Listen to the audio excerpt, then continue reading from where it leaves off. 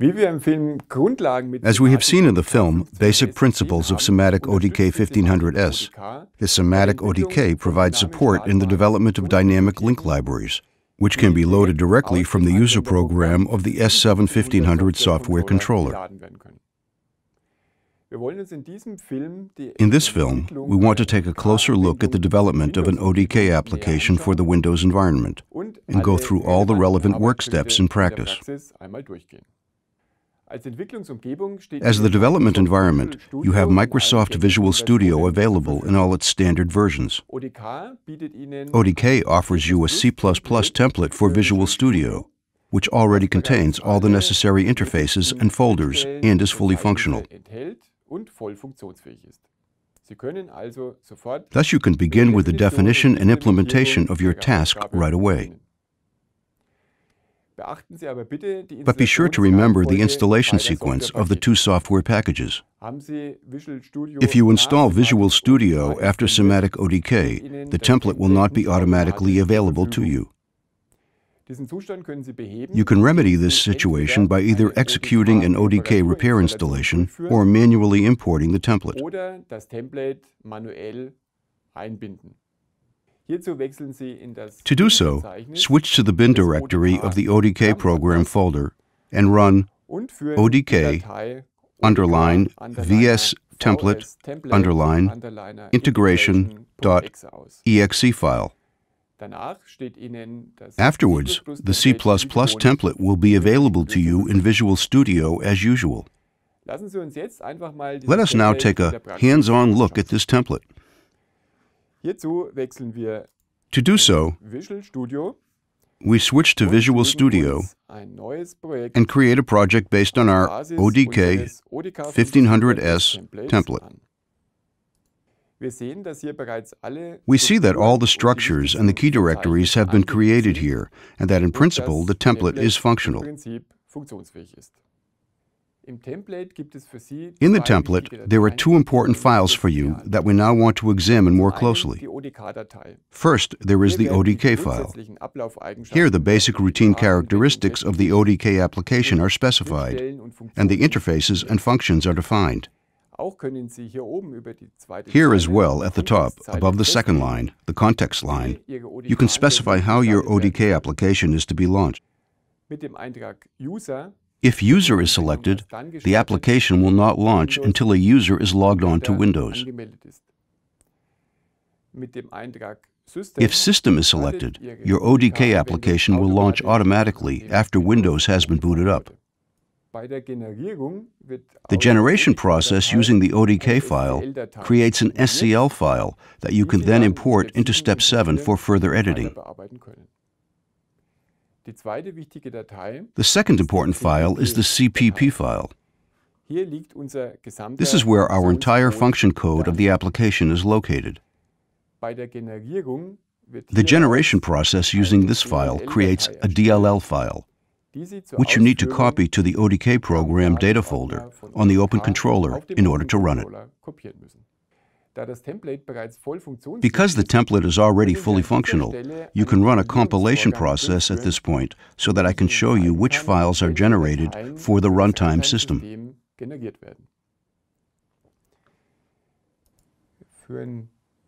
We execute the compilation process once, and then look in Windows Explorer to see where our individual files are located. Here in the project directory, in the release directory, you will find our DLL file, which we then need to copy to the Windows directory of the Open Controller. In the Step 7 directory, we find our SCL file, which we will import into the TIA portal as an external source in the next step. We switch to the TIA portal, navigate to External Source Files, and integrate the SCL we just created as a new external module.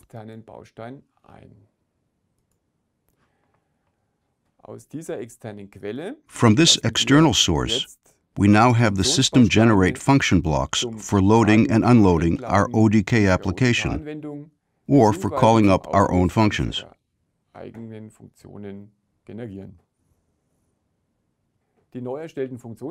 You can now connect the newly created function blocks at will and integrate them into your program.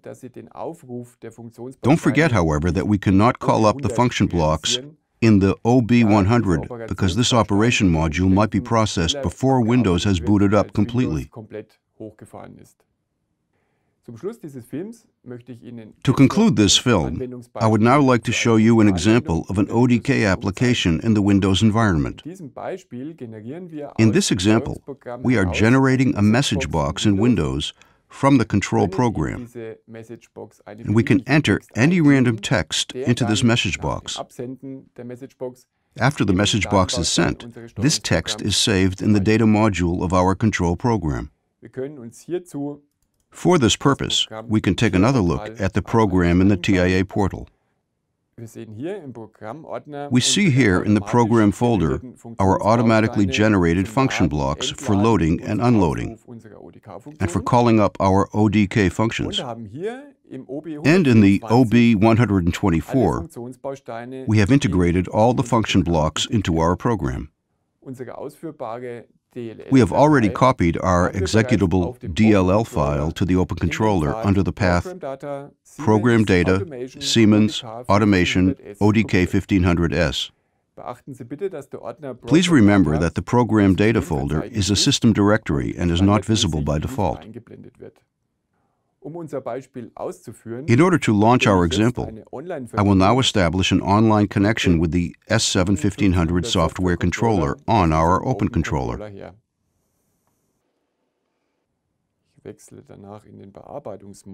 Afterwards, I switch to the editing mode, and here at the top in Network 1, I see our loading module for the ODK application. I change the setting to 1 so that in principle our ODK application can be initially loaded. I control the execution of the message box here in Network 2. For this purpose, I set the requirement to 1. And now on the right-hand side of the Open Controller, we see our message box created by the controller. In the TIA portal, we switch briefly to the data module where the contents of the message box have been stored. My message is And here we also see our standard setting. My message has been copied one to one. Now we will change the text to ODK 1500S confirm the message box, and see if we also go to monitoring here in the data module that our newly entered text has been accepted and saved in the data module.